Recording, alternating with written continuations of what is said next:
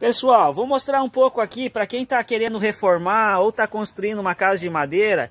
Vou mostrar aqui uma diversidade de paredes para vocês. Vou mostrar uma, uma uma aqui e vou falar um pouquinho de cada uma delas. Essa parede aqui, a primeira que eu estou mostrando para vocês, é eucalipto vermelho. Uma madeira com uma resistência muito alta, uma das mais duras do mundo. Tem uma resistência muito grande a cupim, ao apodrecimento.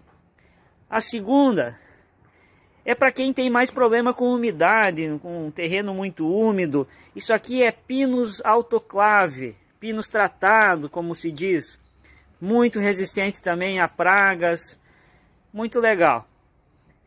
Essa outra aqui, que eu estou mostrando agora no vídeo, é o pinus comum, sem tratamento.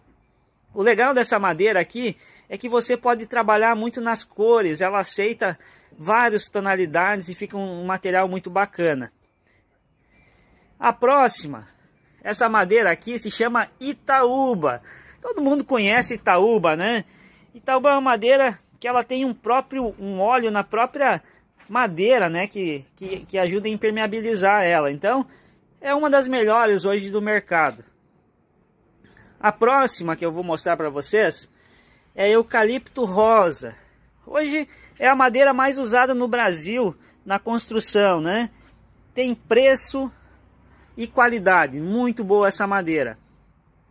A próxima aqui que eu vou mostrar para vocês se chama garapeira.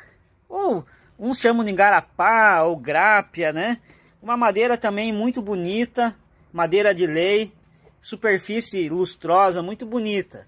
Todas elas aqui estão disponíveis aqui no Lojão da Madeira para vocês. Galera, vamos acompanhando aí os próximos vídeos.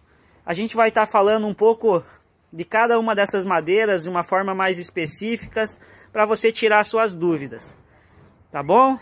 Fica aí, acompanhe nossas redes sociais, compartilhe nosso material aí com seus amigos, com seus familiares, que tem muita coisa bacana para vocês.